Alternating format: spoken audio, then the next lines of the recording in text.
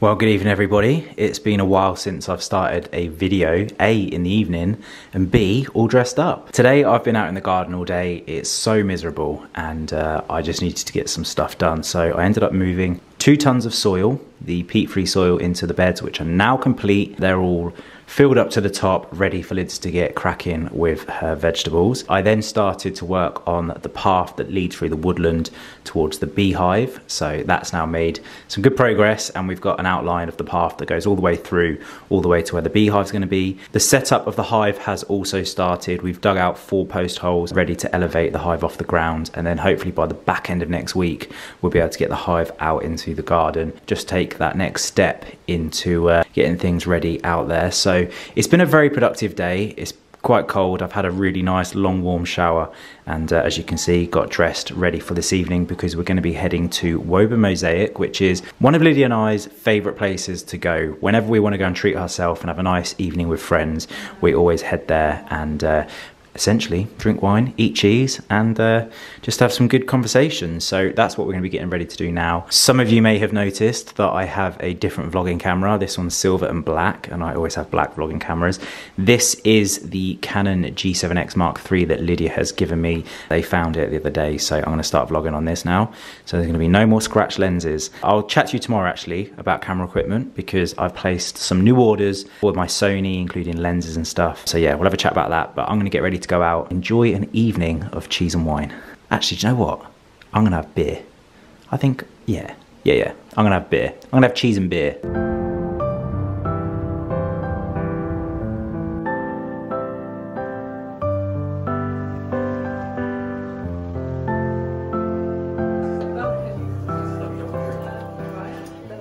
Little sanitizer. Sunny. I know. Yeah, she loves it.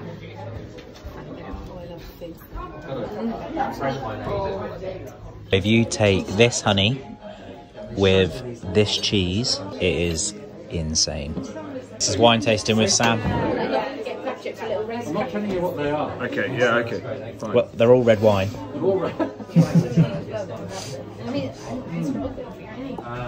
Good. Yeah, that is good. Yeah. Two minutes and I'll be back. Okay, yeah. And no cheating. No, no, Okay, no, cle- cle- cleanse your palate.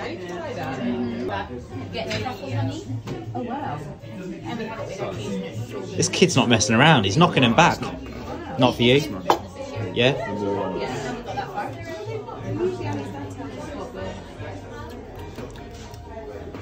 Let it settle. You can swill it around if you want. Which one? I think that's the Ribera del Duero. Right. Love that. That And was I, much I, fun. I really didn't like that. I think that's a French. Okay. And then what's this one? This is quite nice as well. So, I really love one and three. One and three, okay. Two's not for me. Two is the Marquis de... Now this is interesting. Of the two that are remaining, uh, the first one you tried is the one I think you wanted to try, which is the Ribera. Rivera. Yeah, you Which called I called, it. I yeah, you did- did call it. Yeah, yeah, yeah. yeah, you called it. I thought you'd like that But the third is phenomenal. That's good. It's really good. That's the secret surprise. What is it? It's Greek. Is it? Yeah. You're kidding. It's Greek, and Oh, we wow. sell so much of it because it's people say it can't be Greek. It can't be Greek. It's not like it's not like Retsina, and it's um yeah Let's go for it. I'll go for it. yeah Yeah, definitely. What's it called? Yeah. it's um Agiorgi Agiorgiko. Oh, well. Oh, right, just rolls off the It tongue. does Agiorgi. Aguiarito. Lovely.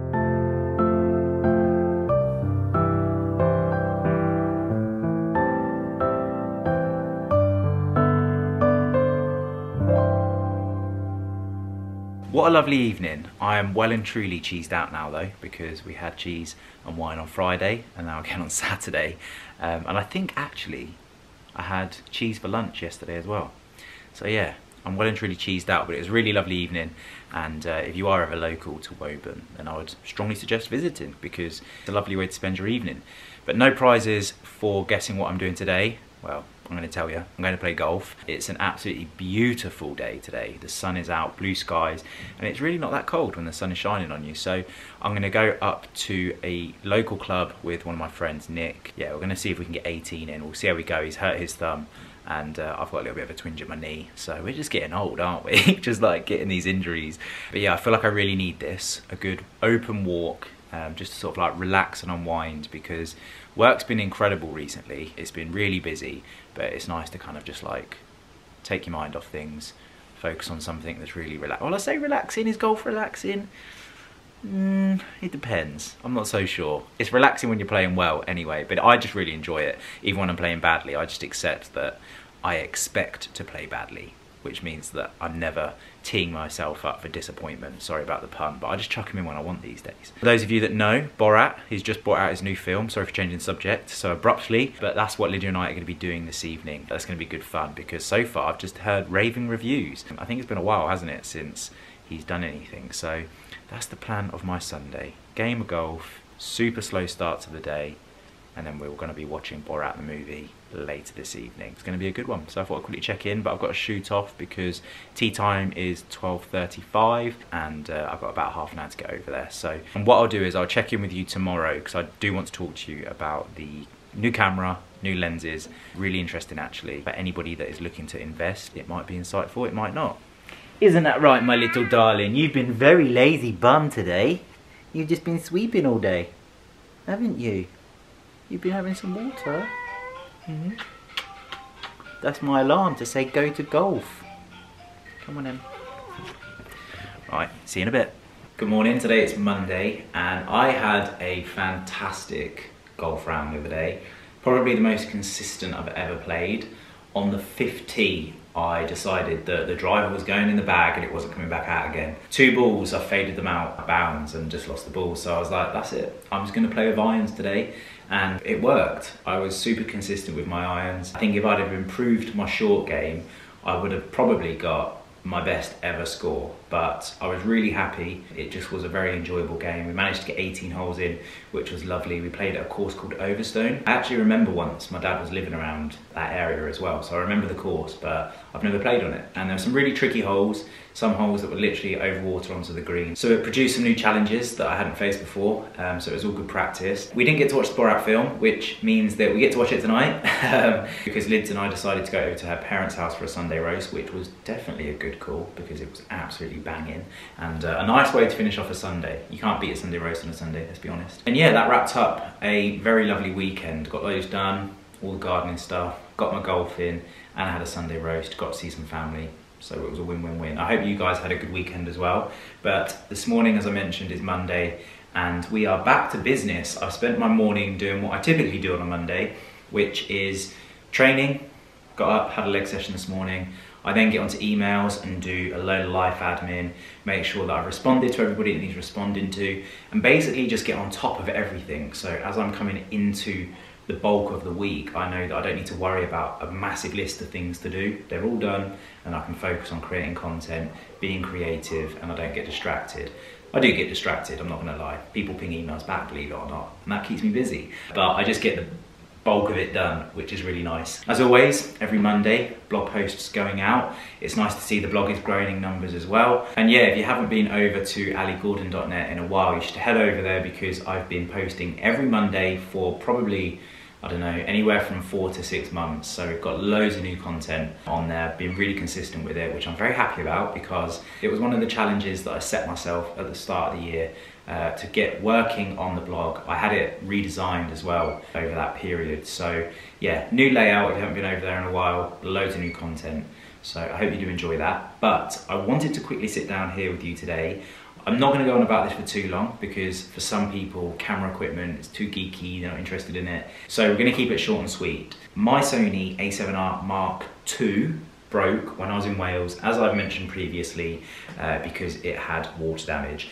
And so I've been borrowing a Mark III for the time being, and uh, that's the upgraded version of mine. And of course, when we got the news back that my camera was not repairable, it was time to invest in a new one. So I spent a little bit of time over the weekend watching a video that was a comparison between the Mark III, which is the camera that I'm borrowing, and the latest upgraded version, which is the Mark IV. The price difference in the camera is, think, something like a grand or an extra 1500 quid. Um, it's a fairly large amount of money to spend. So I wanted to find out what the differences were between the two models and they have made lots of changes, but I wouldn't say personally enough to warrant the extra expense for somebody that's looking to create content in my field. There's some nice new features, but there wasn't anything that was drastic enough to be like, wow, that is why you need to get that new camera. I decided to pick up the Mark III, which is only about two years old anyway. During the examination of the camera, I also sent across the two lenses that I use the most, which are the Sony Zeiss 1.8 55 millimeter and this is probably my most used lens. I do a lot of my photography on this lens and a fair amount of videography as well. They said that this and my 28mm were non-repairable. Um, I think there's just loads of dust inside the glass and probably knowing me some scratch marks on them as well. I needed to invest in some new lenses. So I picked up the 28mm again and I've recently been using the 1.8 Sony 50mm which is this little fella here and it's been great. It's really compact, light, and it does what you need. Focus on it is a little bit slow. It takes a lot longer than the 1.855mm did for me. However, this lens retails at 165 pounds, which in the world of lenses, if you're not familiar, is very, very reasonable. That's quite a cheap lens. I've been very happy with it. So initially I was looking at buying another one of these because this isn't actually my lens. Um, I just it came with the Mark III that I'm borrowing. I then stumbled across online the Zeiss 50mm 1.4 and I didn't do much research on this before I purchased it. I was a little bit taken back by the sheer size and weight of this thing. I mean, in comparison, 50mm 1.8, 50mm 1.4. This is twice as big three times as heavy. However, this is a Zeiss lens, and of course, it goes down to 1.4 f-stop, which is basically affecting the depth of field on your image to create a more creamy, smooth, bokeh kind of feel to your photos, which I absolutely love. Portrait photography, 1.4, it's gonna be dreamy. And this lens retails at 1,299 pounds. So this is like over a thousand pounds more expensive than the Sony 1.8. And so I wanted to put them to the test. I wanted to see whether my new investment was money well spent and the images were taken to the next level. So this right here is a photo taken on the Sony 1.8 50mm on ISO 200, f-stop 1.8 and 125 shutter speed of some flowers downstairs in the kitchen. And this image right here was taken on the Zeiss 50mm 1.4 with an ISO of 125, all the other settings the same. Same camera, two different lenses, very similar output. Now, probably to the untrained eye, you'll say, I literally can't see any difference between the two images. I put a grade on them both. I just stuck the same preset that I'd made for the photo on both of the images. And I would say that for an extra thousand pounds, it doesn't look like you get a lot for your money. One thing I would say is the focus on the Zeiss lens was insane. It just instantly picked up the head, ready to go, on the Sony, it probably took about three seconds. It was kind of like focusing in and out. On closer inspection, you can see that the depth of field is definitely present. You can see that the 1.4 is a lot softer. I don't want to criticize the lens too much too early because it's still very early days. That's literally only photo that I've taken on it. And I do want to go out. I want to see how it affects the skin, how it affects the eyes, how it affects the background and the bokeh whilst taking portrait and images of myself when we're out and about. But I think for my first impressions, it's very, very large. It's not very portable. People probably definitely underestimate the weight of cameras and how important it is to have camera gear that's very portable, lightweight, and certainly in what I do anyway. I'm not going to enjoy lugging around that beast when I'm trekking up mountains. I'd much prefer to have the more compact, lightweight Sony. So we're going to see how we go with it. But first impressions, feel a little bit disappointed with it. I thought I would just share that with you because if you're somebody that's looking at these two lenses and you're in my field, if you're in a professional field and you're doing photography at a very high level, Of course, the glass in the Zeiss lens is going to be much better. Probably where the money is in the glass that they use in that lens. And so there will be some differences, but just does the difference warrant the extra cost for digital content? I'm not sure it does. If you're looking at investing in these lenses for personal use, again, how much does it really matter? It's just such a minor change. I just think that for the majority of people to invest that extra money doesn't really make sense, as I have done. And I'm gonna stick with it and I'm gonna give it a bit more of a thorough try out and test. And at the end of the day, I've got it now. I'm going to keep it. I'm not going to send it back. So I'll be able to review it down the line in the future and let you know how we get on with it, things we do like about it and don't like about it. I think the focus element on it is going to be really interesting because it does seem to pick up really quickly, which can be very useful when you're out and about. Sometimes you don't get time to focus. You just have to be up and in, get the shot before it's gone. So yeah, I just thought I'd touch base on that. It may help somebody out that's looking at investing in a new lens. It might sway your opinion either way. So yeah, I just wanted to touch on that subject because I think we almost assume that if something is more expensive, that it warrants the extra cost. And quite clearly, it's not always the case. I'm not saying that there's no difference in the two lenses, there definitely is, but it's just a minor difference. And uh, it's about weighing up where to spend your money. And if you were to talk to any photographer, they'll tell you invest in your glass, which what they're trying to say is invest in your lenses, buy good quality lenses. That's what's going to take your photography to the next level. And I'm sure that there's people that are a lot more advanced in this field than I am that would say, no, there is a huge difference between these two lenses. And I don't doubt there isn't, but to my eye and to a lot of other people's eyes, it's something that's not really recognizable. So then we have to question, is it really worth that extra thousand pounds? Um, and some, probably not. But moving on from the Sony lenses, I also picked up another DJI OM4 because my manager, as you guys know, because I keep on telling you, is helping me create content at the moment. And I decided that it would be really great for him to get used to using the DJI because obviously using a gimbal for somebody that's not used it before, you need to understand like how it feels and how to move around with it. I picked him one up as a gift the other day, so hopefully that's gonna be arriving soon as well. And uh, thank you for everybody that's also shared with me their purchase of the DJI OM4. I hope you're getting on well with it. It's serving you well because it is a great bit of kit. I've actually been filming lots of my Reels videos on my DJI OM4 because I find it a lot more easier when we're out and about just to capture on the phone and get the stability from the gimbal. It's been a very handy piece of kit to have in my camera attire. Been enjoying that. Apart from that, I think that's pretty much all of my camera gear investment at the minute. I've been looking at a few other lenses, but nothing at the minute that I'm ready to um, stick my money down on the table for. I do quite like the probe lenses. I'm not sure if any of you are familiar with them.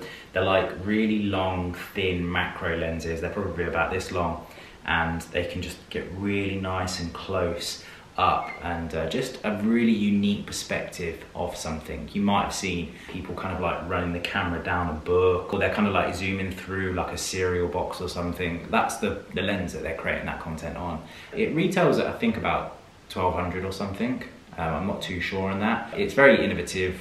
I think there's only one company, at least when I was looking anyway, that were making them. Maybe in the future, and it will bring a new dynamic uh, both to the vlog and to my content on social platforms. Also, I've just remembered, sorry going off on a tangent here, we've just confirmed that I'm going to be playing in the BMW Championship Pro-Am next year, as long as circumstances allow, which is amazing. I think I'd referenced in my last video that it had been cancelled, which is a huge shame. Um, however, we're now doing it next year, 2021, so I'm super pumped and looking forward to uh, playing on that as well. But that's a very long time away. We've still got Halloween, bonfire night, Christmas, Easter, probably missing out loads of important events before then. But I just thought I'd let you know because I'm excited about it.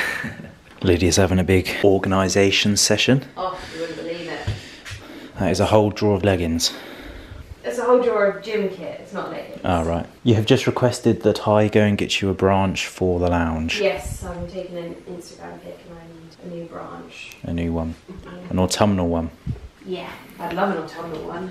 Hmm. New steamer. Looking good. Yeah, my other one broke. It's looking so- slimline, that is. You think? Yeah, it looks like s- slimmer. More practical to pack away. It's not. Is it It's a bit hard to move, to be honest, but it's it's better quality. Cool. So at this time of year, getting branches with leaves on. It's a challenge, but I'm going to see what I can do. I actually think it looks really good, like autumnal, just like quite twiggy, Yeah. Personally. But Well, we can we'll get see. loads of twigs and put them in. Yeah, okay. I'll go out and grab that now. Any particular tree? Just whatever you think looks best. My love. Okay. Also, whilst we're out here, you'll see that Lydia has not messed around. She started to get these beds going. Lettuce! I think we need to get some covers to protect them. But yeah, all the beds are full and the veg is in. We are not messing. Now we need to select a nice tree to take a little snippet off of. I think this one. I think this is a cool one actually. We've never had this one in the house before actually, so it should, should be good. Just before I snip this down and head off back inside because it's kind of cold in a t-shirt. I've decided to line the path to the beehive with some logs. So as you can see, we have started to create a path and I feel like it's working. It's looking good. You see it leads around and through. Really nice. A work in progress. We need to flatten the ground out. So when we get the rollering soon, I'll flatten this down and make it a little bit smoother. But it's a path leading all the way. It's a lovely day. It's just a bit cold.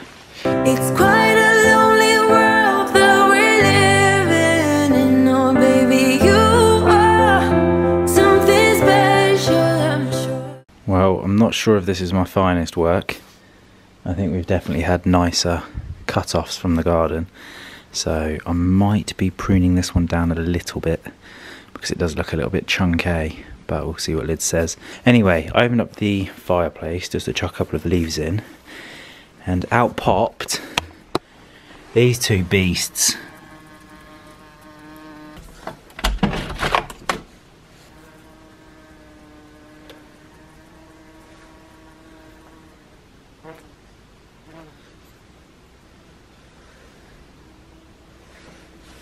And away they go into the great outdoors. So, are you satisfied, Mrs. Millen Gordon, Yes. with the foliage? I do like that foliage. Yeah. My favourite is the table though. Yeah, the one out there. Oh, bad boy. In fact, that is what I was photographing earlier when I was showing you the lens. These are good, but the spring uh, Pops out, pops out all the time, Yeah. which is annoying. I mean, they look cool, but practicality, Not as good as the other not so good. I opened up the fireplace, two wasps, and they were just black because of all of the soot. Did you get Is it soot? Yeah. Yeah. Well, they just flew out. Well, they walked out. So do you think we've got a wasp's nest in our clue? No, there's only two. Oh right, okay. I think they've definitely come down there though. Maybe they were mating, got carried away, fell down the hole.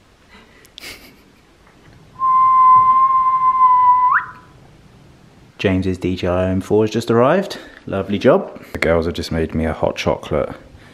It's the first time, Liz, I've had hot chocolate with marshmallows all year. That is a lot of marshmallows. Yeah. It's a good job that Carrie brought a lot. Wowza.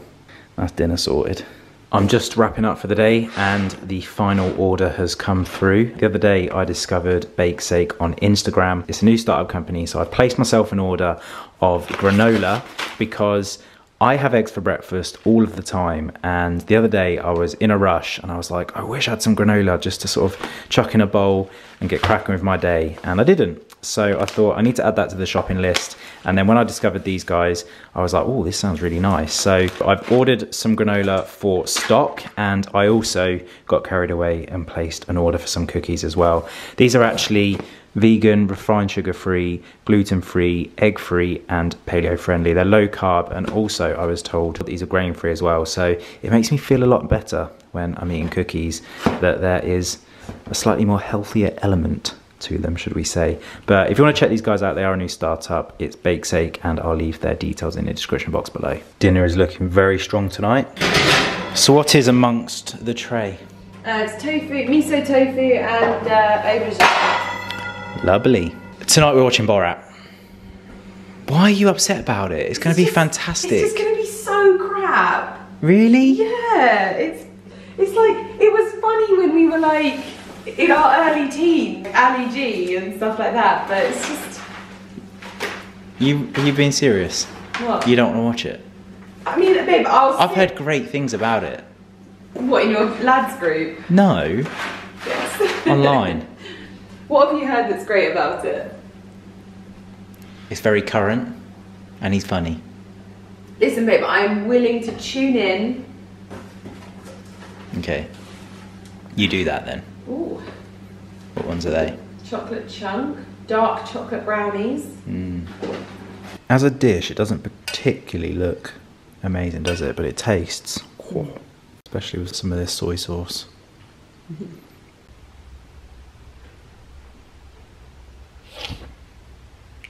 Well, thank you. Let me think of the sleepyhead. Can't get it open. No, me either. And I've tried to cut it. It's like impossible.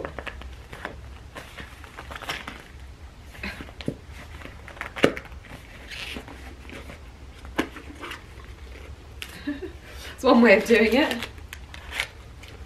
Pecan. Should I put a selection on the plate? Yes, that'd be lovely. Thank you. Yeah. So I have a couple of different Amazon accounts, and I've got like Amazon Business and stuff like that. One of the accounts I've obviously paid for Prime on, haven't on the other account. It basically derived from having an old email, setting up an account, and then setting one up on my phone with the, the wrong email, and then ended up with two. And then I made one of them business and one of them Prime. I've logged into the one on TV at some stage, the one that doesn't have Prime, so I haven't got access to the Borat film, so I now have to change my login to the one that's got Prime, and I can't remember which one's which. It's all very confusing over on Amazon, Ali Gordon. Oh, you want me to open all of them, yeah? Well, yeah, because that was a mixed one, and Can you get me a knife so I can cut the and then prize? Are you sure you want to sign out of Prime Video? Okay. Thank you.